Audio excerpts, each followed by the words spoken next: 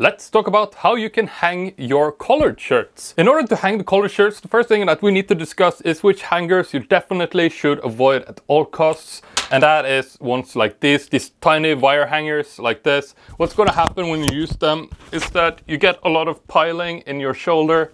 It's gonna make your shirt look horrible. It's gonna stretch it out over time.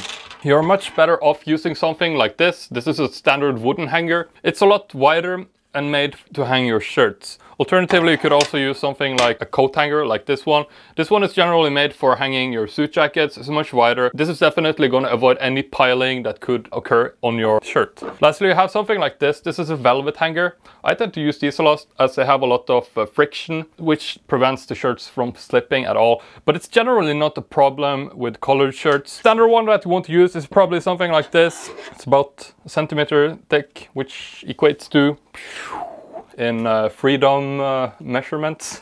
so let me show you how you, you're gonna hang these now. There is a few things to keep in mind when you hang your shirts. So the first thing that we need to talk about here first of all is that you want to button up all the buttons. You can do the arms as well.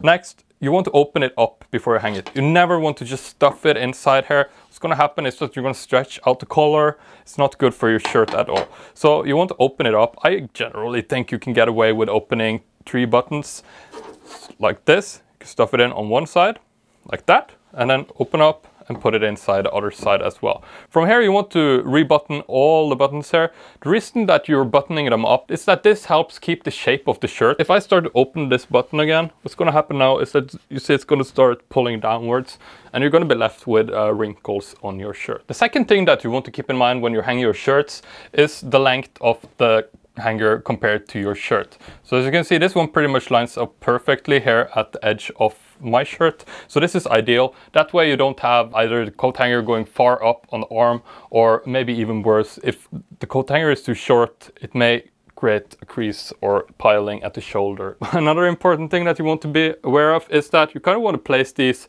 so that they don't squeeze the colors of each other together. So if you have a very full wardrobe, you are probably better off folding up some of them so that you at least have, let's say, a couple of inches room between them so that the colors don't get mashed together or the fabric gets squeezed together and kind of start creasing. If you prefer folding your shirts, I made a video about that in the past that you can check out here. I also made a video on how to organize your entire wardrobe that you can check out on this side.